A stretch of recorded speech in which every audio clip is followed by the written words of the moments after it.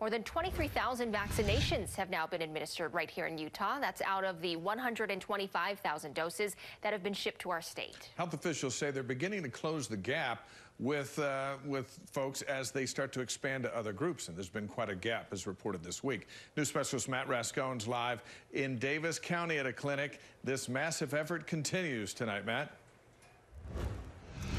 Yeah, it's clinics like this one that are helping to pick up the pace. It took the state two weeks to administer 17,000 doses of the vaccine. This clinic is doing more than 1,000 in one day.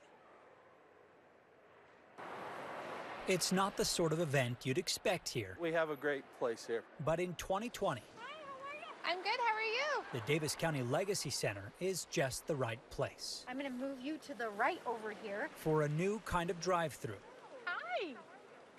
Hi. Good. Jennifer Parkinson is a registered nurse, The most common side effect is going to be a sore arm. one of hundreds of non hospital healthcare workers Glad to be on this side of it.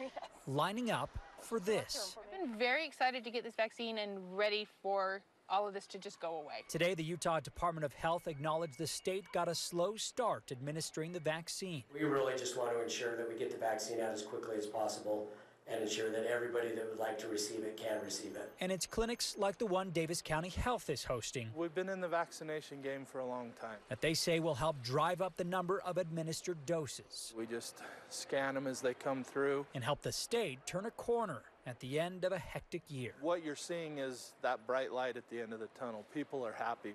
In and out in less than half an hour.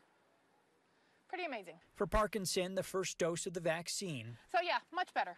Much better. is reassurance It's like a layer of protection, just that calming effect. and a sign Thank you so much. of more relief in the days ahead. I feel better about it.